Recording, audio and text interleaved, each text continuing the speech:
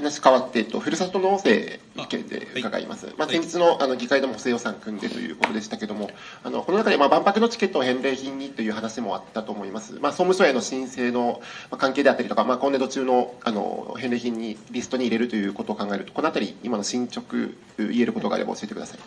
えっと、万博チケットの返礼品の協議について、本日時点の協議経過はちょっと報告は受けておりませんが、あの鋭意、事務方の方で調整が進んでいるというふうに認識しています。あの重ねてになりますが、あの返礼品競争に参加するというよりは、まあ、制度の趣旨にのっとってですね、あの大阪にこうあの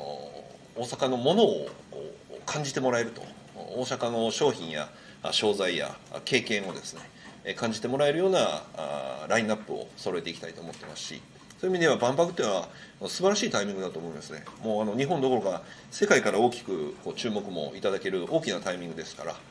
あの万博に絡めたものや大阪に絡めたものが返礼品として、えー、お渡しできるように引き続き調整を進めれたと思っております。ことチケットに関しては、まあ、今年度の導入を目指したいとかそのあたりはどうですか？あれ？なんか決まってました？まだ協議中？週ですね、7月に総務省への申請があるので、それに向けて、あのちょっと協議を進めているところです。はい。ありがとうございます。すみません。